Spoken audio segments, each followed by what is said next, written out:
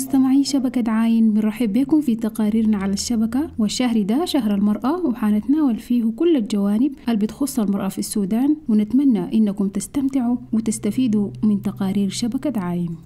أهلا بكم مستمعينا في تقريرنا الأسبوعي من شهر المرأة واللي حنتناول فيه شيء بسيط عن دور المرأة تاريخيا وإنجازاتها في السودان. المعروف أن المرأة السودانية اتميزت في كافة البواقع سواء كانت إقليمية أو عالمية. فتاريخيا في السودان كانت بداية تعليم المرأة في 1907 وأول مغنية سودانية لها فرقة وأسطوانات مسجلة عايشة الفلاتية وكان في العام 1942 وفي 1943 اتأسست أول جمعية نسائية. وفي 1952 اتأسس أول اتحاد للمرأة في السودان واللي هو الاتحاد النسائي السوداني.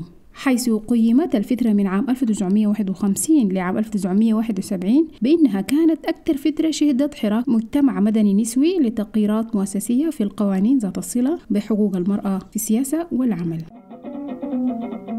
وللمزيد من التقارير الصوتية وتقارير الفيديو زورونا على موقع الشبكة على الإنترنت عاين دوت كوم.